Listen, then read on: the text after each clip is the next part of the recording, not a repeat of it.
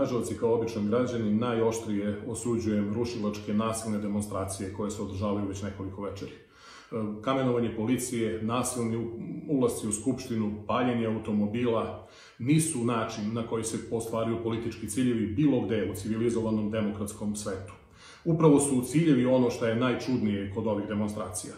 Prvo se protestovalo protiv korone, protestovalo se protiv mera koje nisu ni uvedene, protestuje se protiv vakcina koje još uvijek nisu ni izmišljene, protestuje se protiv 5G mreže, protiv migranata, protestuje se i zbog navodne brige o Kosovu. A upravo je light motiv organizatora ovih demonstracija, a to svakako nisu ovi mladi ljudi koji su samo izmanipulisani i iskorišćeni, već strani centri moći koji su uveliko upleli svoje prste u organizaciju ovih demonstracija, upravo je njihov cilj da se oslabi pregovaračka pozicija pred e,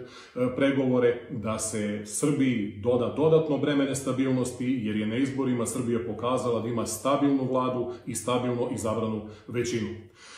To da su strani faktori uključeni u organizaciju ovih demonstracija dokazuje i to što su na ovim demonstracijama prisutni i navodni ruski turisti i ukrajinski turisti sa izraelskim pasošima i navijači Torcide i Đukanovićevi saradnici iz Crne Gore. I sve to pokazuje da iza svega ovoga stoji pokušaj zapadnih sila i svih onih koji žele da poboljšaju kosovsku pregovaračku poziciju, da hotiju koga i sami oni nazivaju političkim patuljkom, upravo ove demonstracije budu podrška kako bi izvukao za svoju stranu više i bolje uslove.